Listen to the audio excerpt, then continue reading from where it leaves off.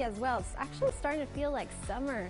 And this morning we are just starting off so warm and comfortable. 69 degrees. That is your current temperature at the airport. Those winds are very calm, only at 5 miles per hour.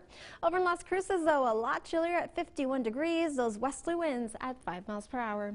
As for your temperatures across the region, we're looking at 46 in Silver City, 50 in Deming, 57 in T or C, 63 in Juarez. Here's your winds across the region. Very calm this morning. We're only seeing 11 in Silver City, 7 in Deming, 5 in Juarez, 8 at the pass. As for us, we're going to be around 10 to 15 for today, but gusting up to 25 later this afternoon. We've been seeing that trend of breezy in the morning, the afternoon, just two more days of that, and then just beautiful weather after that. But here's what to expect this morning as you're heading out the door, whether for school or for work. Come 8 o'clock, 67 degrees is what we're forecasting. We're warming up to 80s today by your 10 o'clock hour, 90s later this afternoon. We're going to see this high pressure system move in, warming us up, but we are going to see some gusty conditions. So that storm system is up north of us, taking over most of the U.S., pretty far away from us, but this is what's going to give us those rush of winds later this afternoon. And since a lot of us didn't get to see that rain on Tuesday night, we're still pretty dry. Our soil is still pretty dry, so we might see some blowing dust in the area, but it's not going to be a lot. So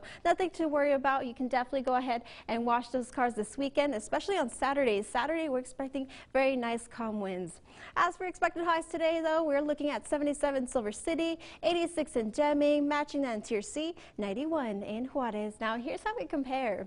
We should be hovering close to 82 this time of year. We're expecting a high of 90. That's 8 degrees above where we should be for today. Beautiful above average temperatures. Tomorrow, we're going to cool down a little bit to the 80s with those gusty conditions. Winds will subside for your Saturday. Mostly clear skies at 87 degrees. A little breezy on Sunday. And as of now, it seems Monday through Thursday, we're going to see all 90s, nice clear skies, nice calm winds. So beautiful weather.